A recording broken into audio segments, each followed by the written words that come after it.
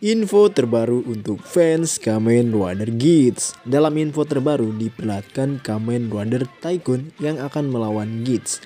Di sini Tycoon menggunakan form Bujin Sword dan Gits memakai form terkuatnya Gits 9. Dan yang menarik di sini adalah ternyata form Kamen Rider Tycoon Bujin ini bisa dikombinasikan dengan form lainnya atau bakal lain. Sudah dua bakal yang ditunjukkan bisa digabung dengan form Bujin. Yang pertama Kamen Rider Tycoon Bujin Boost dan kedua adalah Kamen Rider Tycoon Bujin Monster. Meskipun bukan hal baru, tetapi kalian para fans harus wajib tahu.